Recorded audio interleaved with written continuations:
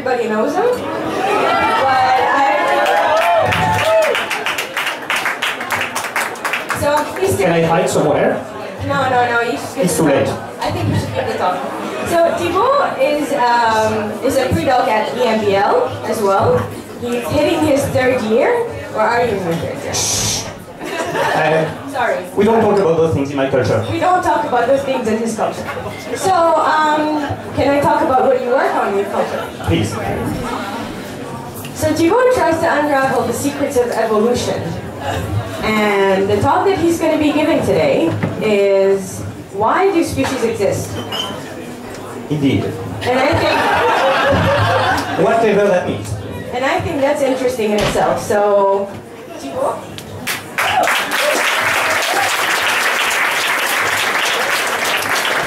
Thank you everyone, thank you. So, what I'm going to talk about is one of the most difficult questions of all biology, which is how you make new species, and also why indeed species exist. So first of all, are there even species? How do we know? Well, if we look at the world around us, we see that it's not a giant chaotic mess, apart from this pod, but it's divided in discontinuous groups. We see cats and dogs and sharks and octopuses and humans and chimpanzees, but we don't see any intermediates between cats and dogs or sharks and octopuses or humans and chimpanzees. And we know also these groups are stable. They existed one generation ago, they will still exist one generation from now. And this is the way people have been thinking about species for centuries. Discontinuity and stability. Nowadays, as you might know, biologists define species a bit differently. They define species based on reproduction. You belong to the same species if you can reproduce together. And the reason reproduction has been chosen as a criterion is not that biologists are especially obsessed about reproduction. They, they're exactly as obsessed as you and me, not more or less. But um, that reproduction explains discontinuity and stability. There are no intermediates because species don't make hybrids or only sterile ones. Species are stable also because they don't exchange genes, they cannot reproduce. So their boundaries will stay where they are, they will stay stable. For example, our closest living relatives are chimpanzees. We split 10 million years ago, and we will never be one species again. We will never be one again anymore, because humans and chimpanzees cannot have babies together. That's the only reason. By the way, do we actually know that? Has anyone ever tried to reproduce with a chimpanzee? Well, yes, you. Oh. Okay, how was it? No, so actually the answer is yes. It has been tried, at least once, that we know of. In the early days of the Soviet Union, there's been an entire research program aiming at producing hybrids between humans and chimpanzees. A Russian biologist named Ilya Ivanov, for years, tried to get female chimpanzees pregnant with human sperm. It's never, fortunately, by artificial insemination. It's never worked. The reciprocal experiment using chimpanzee sperm to impregnate a human female volunteers. By the way, if you read Ivanov's lab notebooks, in the beginning he wasn't thinking of bothering with volunteers at all. He was just thinking of, you know, sneaking into a hospital, pretend to be a doctor, inject chimpanzee sperm, see what happens. And unfortunately for science, this was never done, because, not because people had ethical concerns, nobody seems to have that much, but um, because Ivanov started being suspected of being anti-communist and then deported to Kazakhstan. Now, um, Ivanov's experiment might have been slightly ethically questionable, but uh, if they are to be trusted, they told us something valuable about primate biology. They told us that humans and chimpanzees are different species. They cannot have babies. We didn't know that before. And if this is true, humans and chimpanzees are actually completely remarkable. If you look at natural populations, they pretty much always belong to one of two categories. Either they can reproduce together, they exchange genes, they belong to the same species, they cannot diverge too much, or they're completely reproductively isolated, like humans and chimpanzees, and they are different species. And there are some intermediates. There are examples of incomplete reproductive isolation, but they are extremely rare. The criterion of reproductive isolation works surprisingly well. It works beyond expectations. And the only reasonable interpretation of this fact is that reproductive isolation must evolve really fast. New species must appear extremely fast, much faster than we would otherwise have expected. So the intermediate stages are very short-lived, which is why we almost never see them. So a good thing with this hypothesis is that it's testable. If species appear fast, we should be able to see it. So how fast can it go? Well, the fastest we could imagine would be just one generation. You directly have a child who cannot reproduce with anyone around it. Of course, the question is how is it going to have children on its own? How is it going to start the species? Well, it can work in some special cases. For example, it's snails. Being a snail is mostly about having a shell, and this shell can be called in one of two ways. It can be called to the right, or it can be called to the left. And when it comes to having sex, snails can only reproduce with snails that have the shell coiled the same way as themselves. So both ways are fine, both work well, but right and right can populate together, left and left can, left and right cannot, for mechanical reasons. So, it's not really imagine those guys. I mean, they keep trying, and they, they go to the priest, they go to the doctor, and um, so um, accordingly, within one species of snail, the shell is always coiled the same way. But from species to species, sometimes it changes. So how can you explain the transition? Well, the one, one of the simplest explanations is the following. Sometimes in a species of snail, one mutant individual appears that has the shell coiled the wrong way. Now you have to imagine the life of this mutant. It's unable to find a sexual partner anywhere. It can look as far as it wants, for how as long as it wants, it will never find one. So this mutant is desperate, alone, misunderstood. But this mutant a last resort option, which is not available to human beings in comparable situations, which is that snakes are hermaphroditic. They can fertilize themselves. They usually don't do it unless they're desperate, but this one is desperate, believe me. so the mutant decides to fertilize itself. Now, I don't know what it feels like to fertilize yourself, it's probably quite something. But, I mean, I don't know, can they come twice at once? But, but this is a way a new snail species can appear. Now this is a bit ex extreme, usually it takes more than one generation. So if it has to be stepwise, how fast can it go? Well, the answer is still ridiculously fast. New species have been observed to appear within historical times. New species have been produced by human activity accidentally without even trying. That's how easy it is. So one example of that comes from the Madeira Island. The Madeira Island is an island in the Atlantic Ocean. And originally there were no mice on this island. Mice have been introduced by humans, by Portuguese sailors there, four centuries ago. So they've been evolving in isolation on the island for 400 years. If you look at mice from the Madeira Island, they cannot cross anymore with those from the continent if you try in a laboratory. They are reproductively isolated. If you look at the chromosomes of those mice, they don't look like mice at all anymore. They look like aliens. Mice normally have 40 chromosomes. If you look at the mice from Madeira, they have anywhere, anywhere between 22 and 30 chromosomes. It's a massive change. If you compare humans and chimpanzees, it's 48 versus 46, and this is 10 million years. So the mice have evolved extremely fast. So this is an example of new species that have appeared in historical times. Um, this is not an isolated example. I could have given you many others. For example, there's a new species of mosquitoes that appeared in the London Underground. It existed for only 150 years. It's been enough for some mosquitoes to colonize it, evolve there, acquire radical changes in reproductive behavior, in diet, and so on. I could have told you also about fruit flies. You can keep populations of fruit flies isolated in the lab for a bit more than one year. If they adapt to different diets, they become reproductively isolated. So they diverge by mutation and selection, adapting to different diets. If you put them together, they are unable to reproduce anymore. So the conclusion from, this, uh, from all these examples is that indeed reproductive isolations evolve surprisingly fast, exactly as we would have expected. It's extremely easy to make a new species.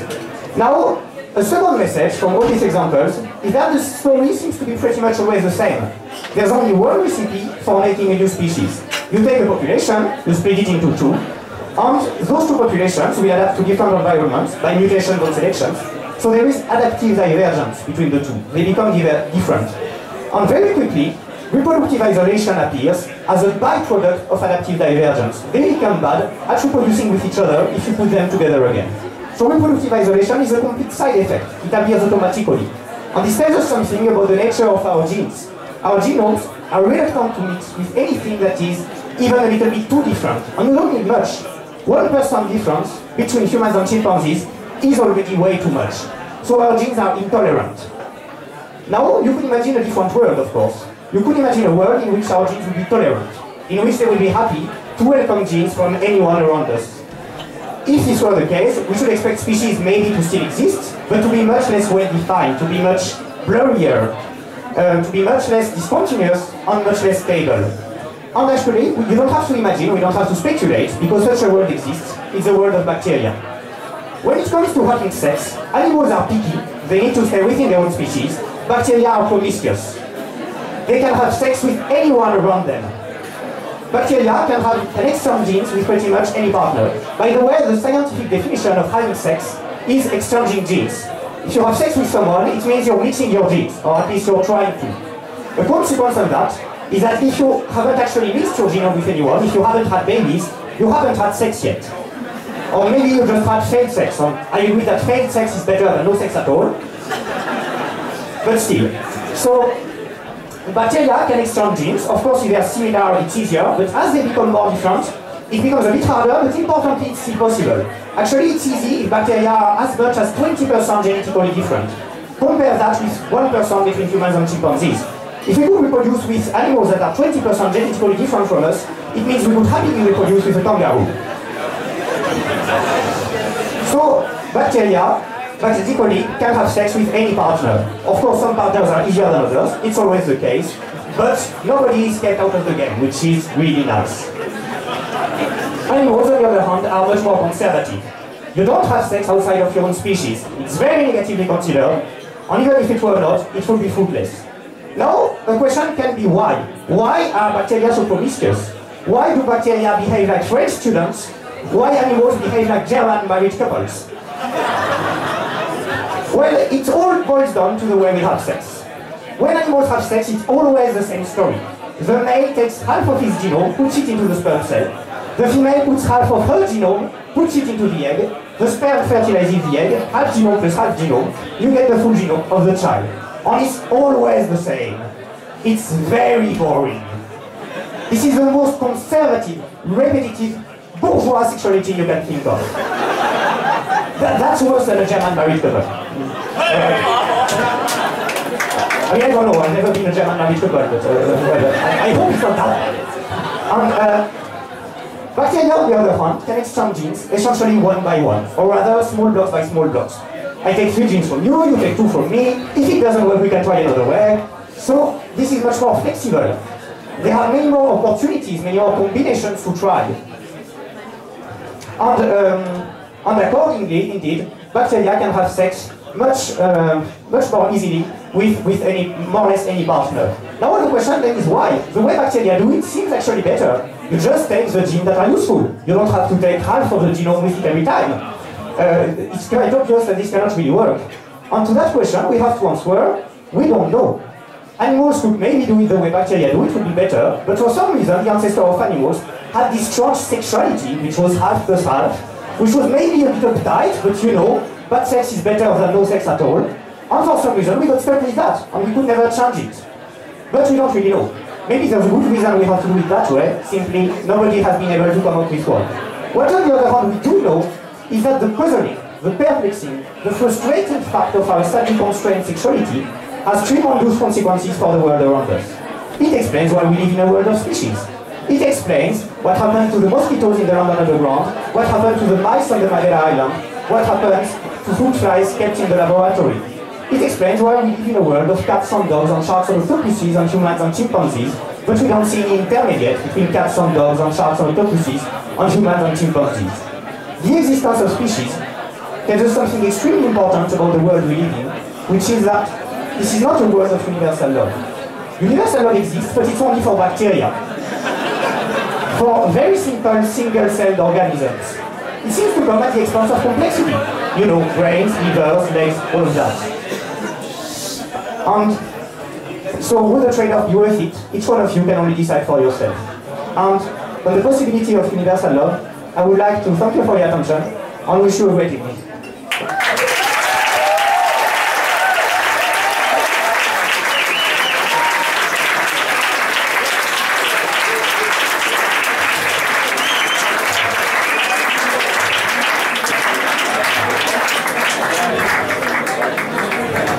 Wow. Again,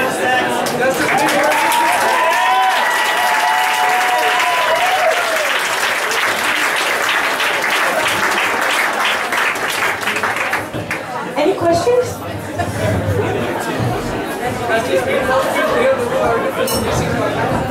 Yeah. Sorry? Does this mean most people here in the room are different species by now? I never reproduced with anyone. Maybe yes. You can always keep trying.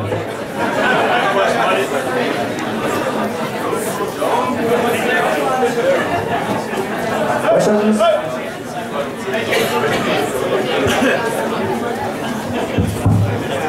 Hey man, first, great presentation. Really enjoyed it.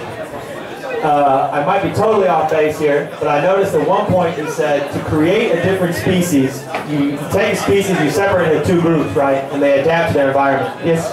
That's right. So I read this article once, man, and it was about birds. Or really anything with wings, any flying species. And it was confused about how they adapted to the environment. Because it didn't make sense, like if they were trying to escape from predators or like reach food or whatever, man, like if they had legs, that was straight, like they could run, the arms, like they could climb, but when they had wings, you know, they could fly, right? So like in between, how did that work? Like if you have fucking stumps, you can't run away from a predator or like climb up and get fruit. So like in between, how does adapting to your environment work? Like, how do you explain wings?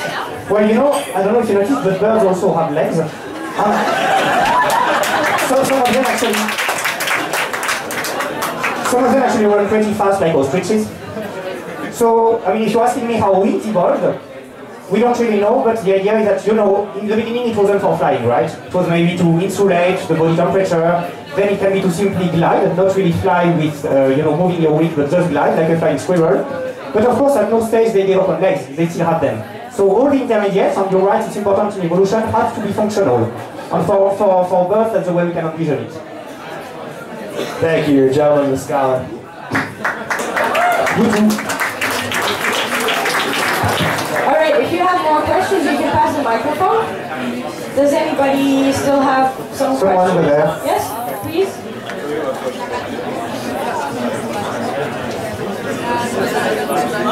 Hi there. Hello. Hi, I have a question about evolution. I mean, evolution and divergence, as far as I understood, it's all about separation. It's all about isolation for divergence. It's about leaders, yes. Yeah. How how do you think about that? Although the continents were separate, we had on all different continents we have evolved very very similar structures of animals of species. Oh yes, absolutely. How do you think, although that we diverged, everything is so similar? I'm not sure I got the question, sorry. I, it's actually more to comment than that isolation alone does not define um, the divergence. Yeah, isolation creates reproductive isolation. So you know, for example, in Australia, you have animals that are really similar to those you had in Europe. You had marsupial wolves, for example, that looks just like uh, European wolves. So the aspect was the same, but they were completely unable to reproduce. So this is the point indeed. Isolation creates automatically reproductive divergence. It's very easy, it doesn't take much, but morphological divergence is optional. It really depends on environmental differences that might or might not be there. Nothing else? Yes, gentleman over there.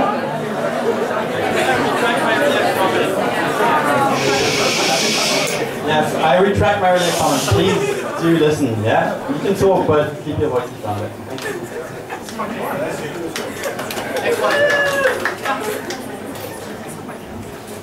I know few species, species, so lions and tigers, for example, horses and donkeys can actually have Yes.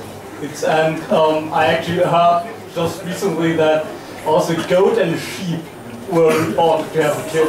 What about? No, okay, continue. Yeah, and um, I just wanted to um, have a comment on that because these can actually reproduce. Yes, absolutely, and actually they're sometimes even fertile. Like the, if you cross lions and tigers, the pie which is the result, is fertile, it's not sterile. And also donkeys and horses, yeah, sometimes the mules are actually uh, fertile. It's rare, but it happens. Uh, the thing is that it's always man-made. So what the definition of species is about is wide populations.